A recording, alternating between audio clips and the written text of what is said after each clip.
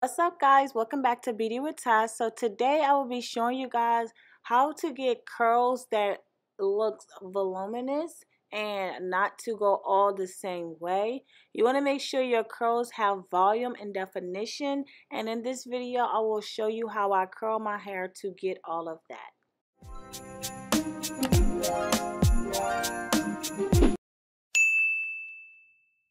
Okay, first, I received this hair from Kbeth Hair and I received a closure. This is just a 4x4 closure and the texture body wave. It looks really nice, has a nice little luster going on, and the lace looks pretty good as well. However, I did bleach and pluck the knots as well.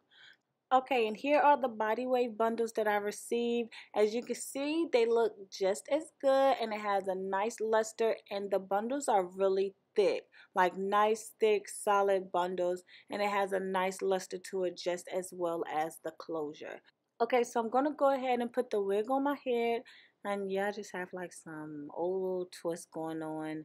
And as you can see, again, this is a closure, but we're going to get it to look very natural looking. And just looking at the hair, it has a nice luster to it. Of course, you can wear it in the body wave texture, but I love to curl my body wave hair because it just looks so good. And body wave hair holds a curl like to a T. But before I get started on the curls, I'm going to go ahead and flatten out my part a little bit more because all I did was take some mousse and put it in between my part and then put a scarf on. But what you want to do is make sure you take your curlers to flatten it out just a little bit more. So I'm starting off by curling my hair in the front and I'm using Olaxa curlers from it's a company off of Amazon. I'll try to leave that link down below.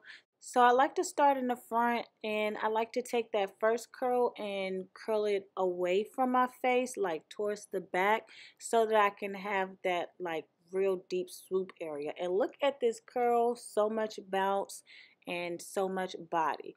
Then I'll go ahead and grab another piece, comb that through, and then go ahead and curl it in the same direction as the first one, which is pretty much away from my face. And then I like to grab hair as I'm waiting and then comb that out. And the third piece, you want to actually curl towards your face. You want to curl the opposite way. That way, all of your curls aren't going the same way so that over time, like throughout the day, your curls will clump together. This way, it all won't clump together in one way forming like two big Shirley Temple curls on the side, you know, if you get what I'm saying. so then after that, I'll go back and curl away from my face. I pretty much do like two away from my face, one towards my face the opposite way, two away from my face and then one towards my face. That way you're going to get all the curls going each and every different way and you'll also have volume. You won't have like all those clumps just coming together. So that is a helpful tip for you guys. I tried it and it works wonders because usually I used to curl my hair all one way like all one way on this side, then all one way on the other side, but that is wrong. You want to make sure that you curl it going opposite ways. And I seen this tip from um, Clifford from off of Instagram. He said, and oh my God, it has changed my life. Like my curls look so much better just by taking that one little tip and doing it that way. So here, that's how the curls are looking so far. So bouncy and look really good. So I'm just to go ahead and finish curling the rest of my hair.